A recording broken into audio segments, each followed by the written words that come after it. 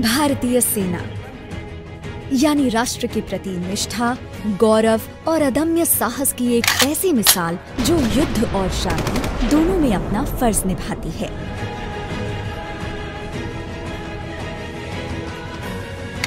और उस सेना की ताकत है वो एक एक जवान, जो जल, थल और नभ में अपनी वीरता के जौहर दिखाता है। जिसकी एक अंगड़ाई से देश का हर दुश्मन थर्राता है। पर जीत की नींव तो अमर असंख्यक बलिदानों पर रखी जाती है।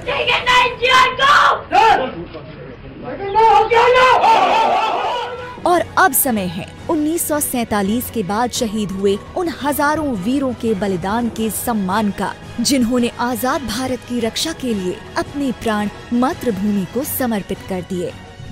सरकार में आने के बाद हमने वो फैसला लिया। अब वो पूर्णता पर है।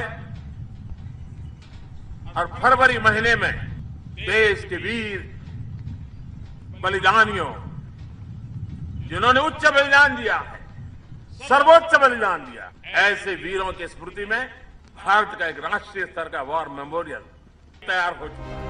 इसके लिए दिल्ली के बीचों बीच इंडिया गेट के सामने एक भव्य राष्ट्रीय समर स्मारक का निर्माण किया गया है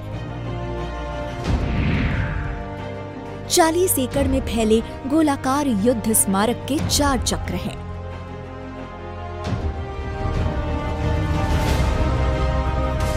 पेड़ों से बना रक्षा चक्र दिखाता है कि एक वृक्ष की भांति कैसे हमारे जवान भारतीय सीमाओं की रक्षा के लिए तत्पर रहते हैं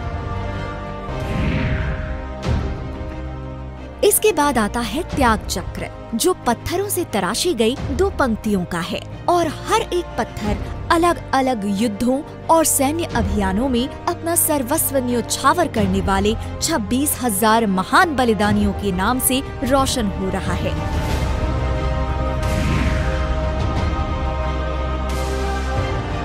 तीसरे चक्र, यानी वीरता चक्र में, दीवारों पर बनी कांसे की कलाकृतियों में भारतीय सेना के तीनों प्रभागों की वीरता की कहानी अंकित है।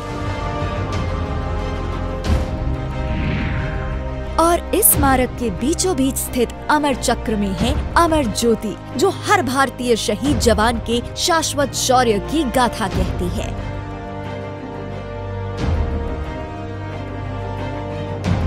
और यह 15 मीटर ऊँचा स्तंभ, जो दिखाता है कि हमारे सशस्त्र सैन्य बलों का हौसला अडिग अटल है।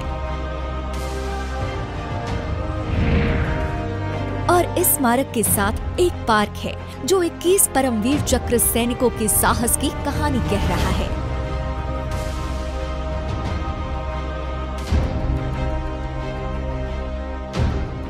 जिन्होंने तिरंगे की शान रखने को सर्वोच्च बलिदान दिया है। हमारे सुनहरे कल की खातिर अपना आज कुर्बान किया है।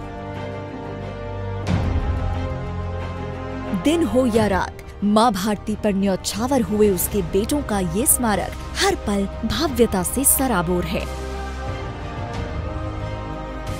आज देश की प्रगति में उनकी वीर गति भी चमक रही है। जिन्होंने हंसकर अपने प्राण गंवाए जो लौट के घर ना आए।